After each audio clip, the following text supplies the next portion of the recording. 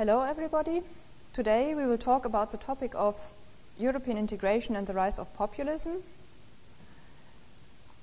Recently, in November this year, Geert Wilders, the leader of the right wing populist party PVV in the Netherlands, and Marine Le Pen, the leader of the French right wing populist party Front National, held a press conference in The Hague, Netherlands, where they presented their aim to build up a movement of far right parties at the European level for candidature at the EP 2014 elections. To give you an insight, I would like to show you a commentary on BBC News.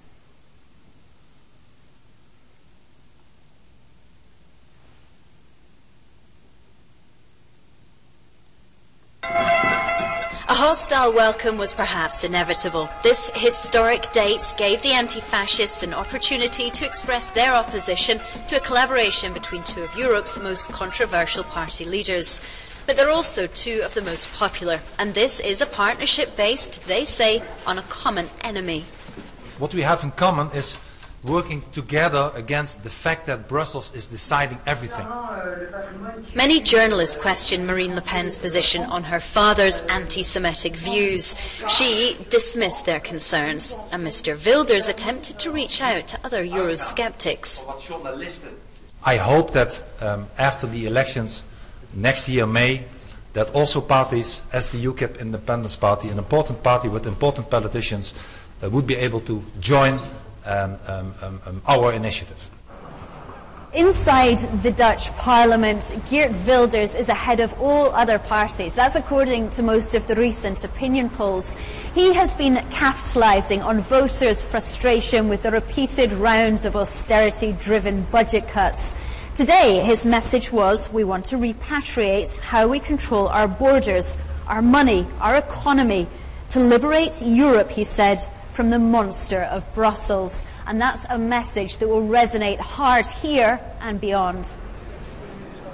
But the Netherlands sees itself historically as a tolerant and liberal nation. Values that a former member of the Freedom Party fears may now be jeopardized by this new alliance. National Front is not liberal at all, and I'm scared that they will drag the PVV with them to the far right and I'm scared that my liberal rights and our liberal rights will be uh, in, in danger. Her critics see Marine Le Pen as a powerful symbol of fascism. Only the polls will tell whether working with her is also working in the Dutch populist's favour. Anna Holligan, BBC News in The Hague.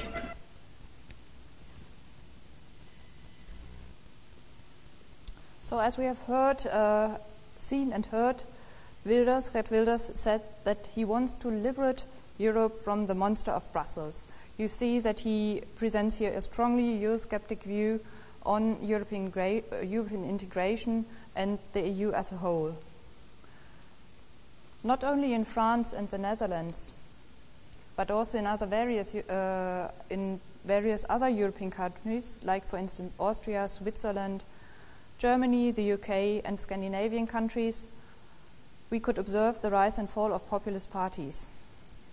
When observing these developments, the question that comes up immediately is what the problem might be that li lies behind these alarming developments. Or, to put it differently, what might be the reasons for the rise and fall of populist parties? Research, politics, and the media are all concerned with this phenomenon of populism. One of the questions that are posed in the context of European integration is if is whether the euro, the euro crisis is responsible for populism. In this lecture, I would like to take up this question for closer examination. The focus will be on the rise and fall of right wing populist parties in various EU member states. I will proceed as follows. First, I will talk about the euro crisis and perceptions of European citizens on the EU. Second, I will, gi- I will give an insight into the rise and fall of populist parties in different European countries. Third, we will discuss possible explanations. And fourth, I will give an outlook for the European Parliament elections in May 2014.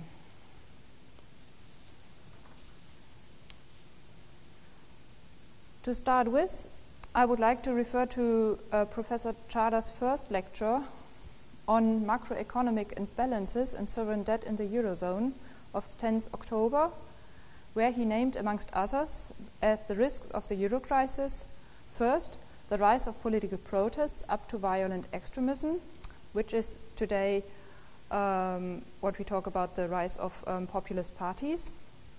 And second, the risk of a legitimation crisis, which even could lead to a crisis of democracy.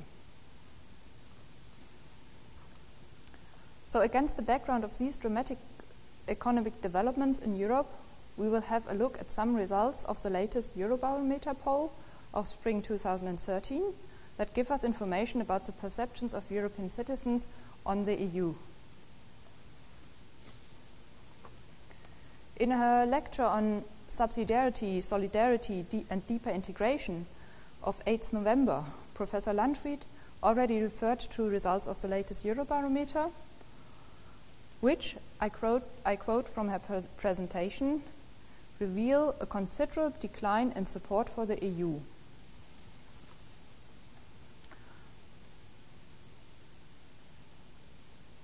So let's have a look on the questions on some questions of, of the Eurobarometer poll of spring 2013. Uh, with regard to the question on what image EU citizens have um, about the EU, 29% of the citizens of the then 27 EU member states have a ne negative image of the EU, while only 30% of the citizens have a positive image. And from a longitudinal perspective, the negative image of the EU has almost doubled since 2006. Uh, when we look at the question how much trust uh, uh, citizens have in certain institutions, among them the, uh, the, the EU, the national parliament, and the national government, we can see that in the time frame between 2000 2004 and 2013, the highest loss of trust shown by EU citizens can be associated to the EU with a decrease from 50% in 2004 to 31% in 2013.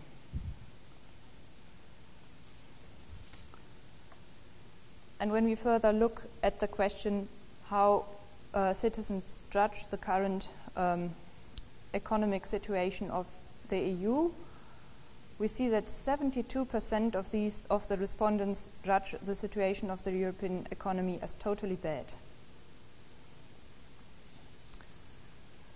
And when and, and when we finally look at the question um, what European citizens expect from the future,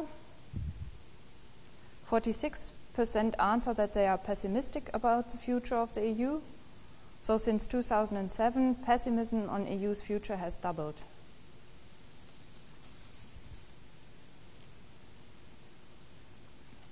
In sum, we can state that the image of European citizens on and their trust in the EU have been decreased over the years, which can be related to the financial and economic crisis of the EU and in EU member states. The survey data show that the discontent with European integration accelerated after 2007.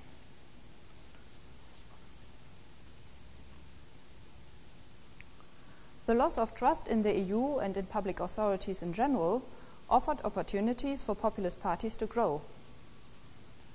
What we certainly see is that the euro crisis has led to the politicization of European issues and to the polarization between member countries and anti-EU parties have strongly contributed to this politicization and polarization.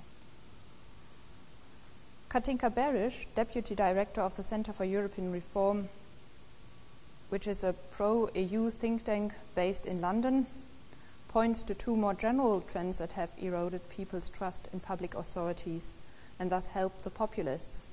These are first, globalization, immigration, and technological, technological change, which are making life more complex. Second, the spread of the internet and new media that can help political upstarts to mobilize the masses.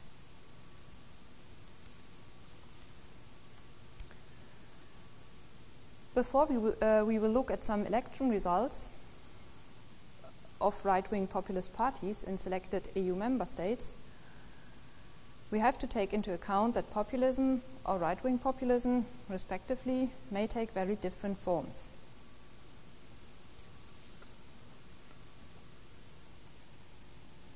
Professor Yves Meny, pre president of the European University Institute in Florence, explains that there is no clear definition of populism, partly because of the variations in the phenom phenomenon over time and space, and partly because of the loose way in which it is used, particularly in the media or by political actors.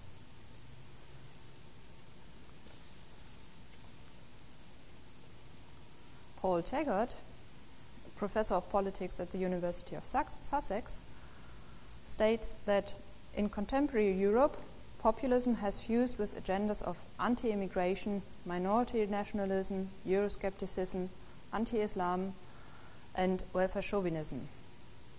Comparing the agendas of populist parties in different European countries, one can find very different key aspects and lines of argumentation populist parties refer to.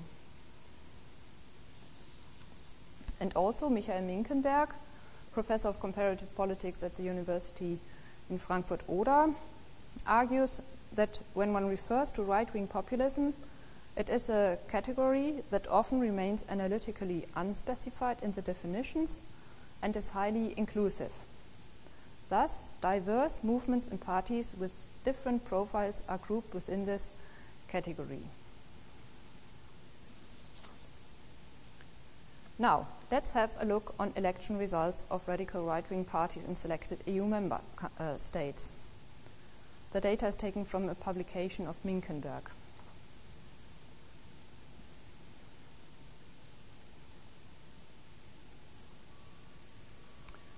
Uh, this is how Minkenberg grouped different movement and parties into the category of right-wing populism of right-wing populism for selected European countries.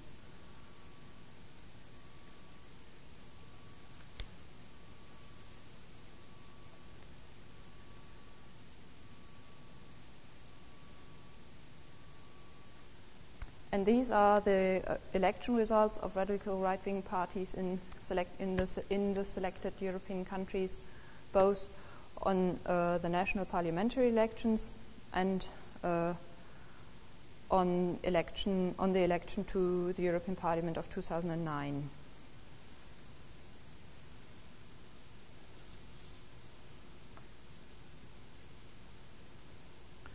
With regard to the national parliamentary, uh, with regard to the national parliamentary elections, we see a rise and fall of right-wing populist parties over the years. Countries where right-wing populist parties have been relatively strong the last years are Denmark, Norway, the Netherlands, Austria, and Switzerland.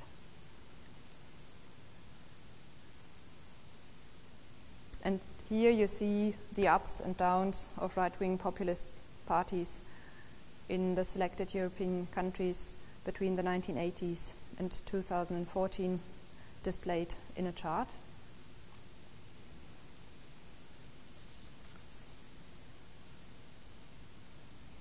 With regard to the election of uh, the election results of the European Parliament election of 2009, right-wing populist parties, which fall in the uh, in the category of the non-attached, in this case the gray segment of the circle diagram, play a rather marginal role,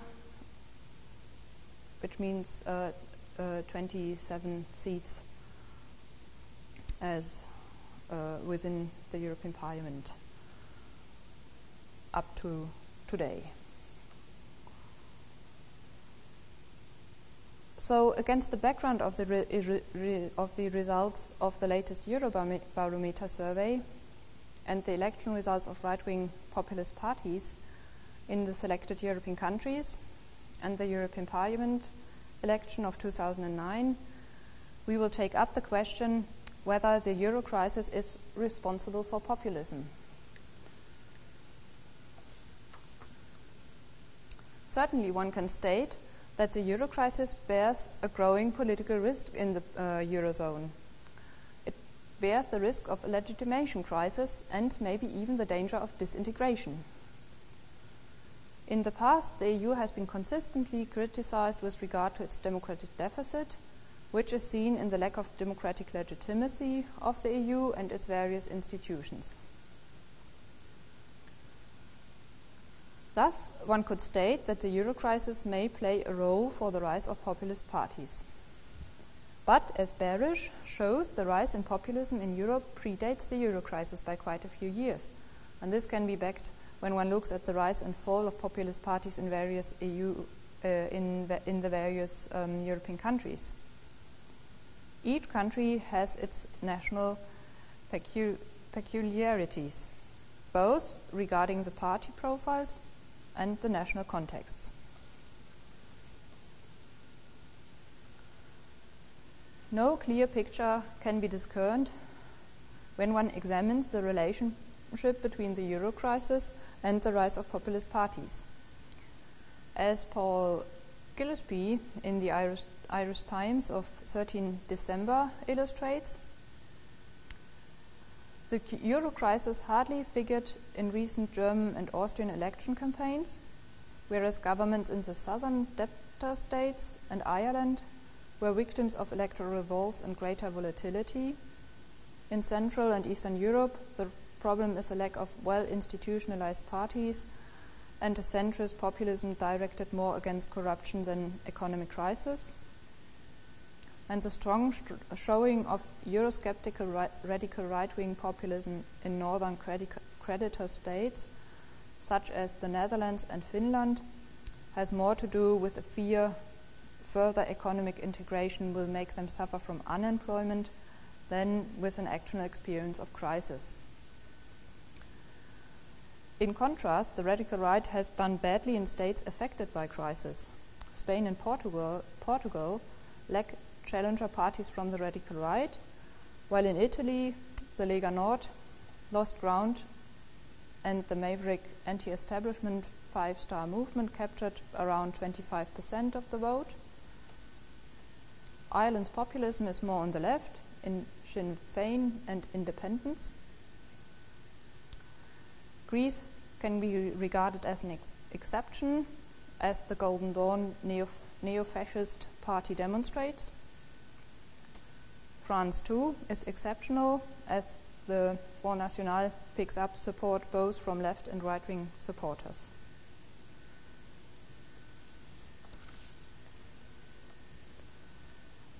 Comparing the party profiles of populist parties, differences can be described in condensed form as follows.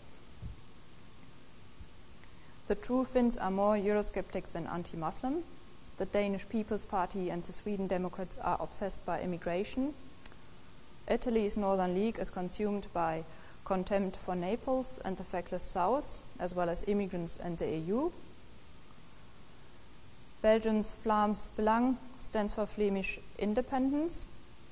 France's Front National is being dragged away from its fascist, anti Semitic past by Marine Le Pen Hungary's Jobbik has not even begun to change out of its jack boots. What these populist uh, parties have in common is that they stand for the politics of resentment against elites.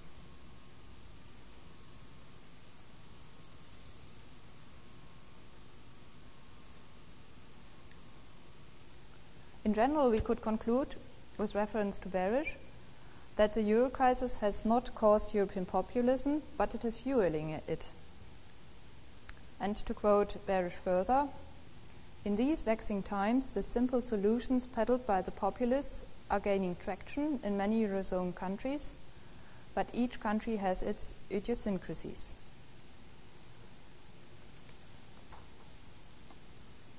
Now, what may we expect for the European Parliament elections in May 2014?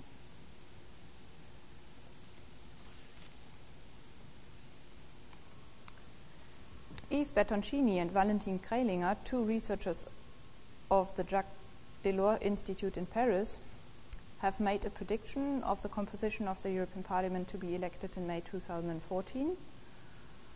Their prediction is based on the results of the 2009 election and recent opinion polls for the eight most populous EU countries.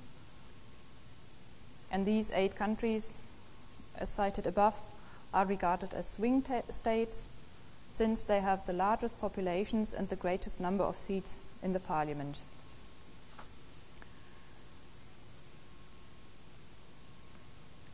So,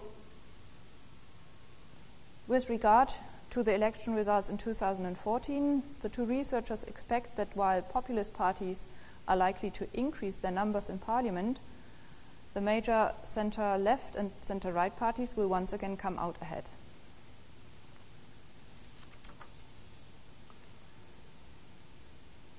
Here we can see the forecasts for the uh, European Parliament elections in May 2014.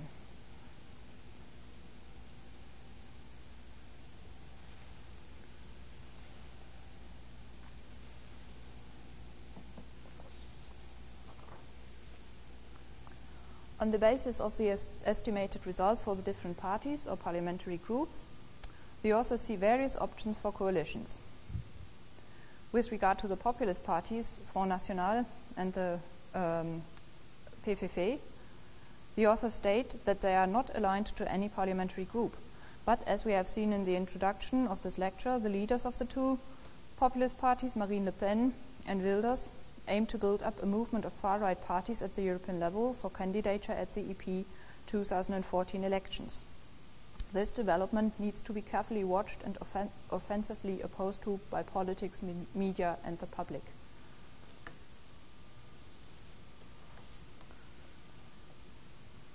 The authors conclude that the numerical increase of populist forces will not notably affect the functioning of the EP, which will remain largely based on the compromises built between the dominant political groups. And this would reflect the positions of the overwhelming, ma overwhelming majority of EU citizens. But the authors alert that uncertainty as to whether the mainstream political groups and parties might embrace the analysis and recommendations formulated by populist forces is probably the most serious political threat for the EU as a whole.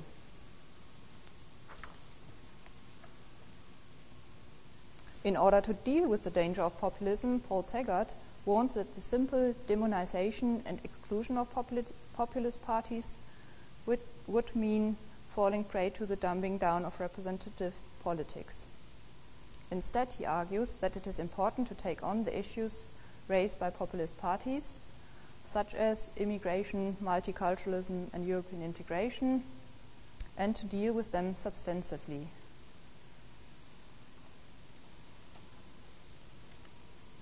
Keeping this warning and appeal in mind, I would like to end this lecture with the final slides, I give you the references I refer to in this lecture. First page and the second page. Thank you for your attention.